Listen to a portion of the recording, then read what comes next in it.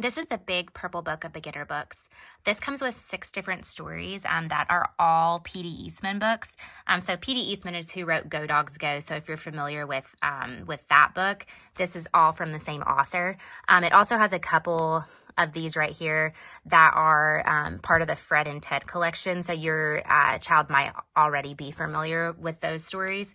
Um, but overall, this book is wonderful. It has so much variety.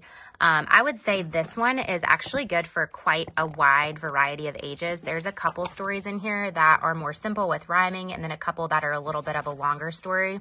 So you've got A Fish Out of Water, Snow, I'll Teach My Dog a Hundred Words, Flap Your Wings, Big Dog, Little Dog, and Fred and Ted Go Camping.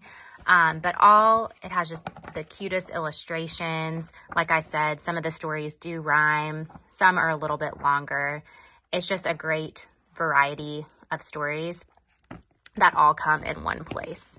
Um, so I would definitely recommend the Big Purple Book of Beginner Books um, if your child is like mine and they're always looking for some new stories.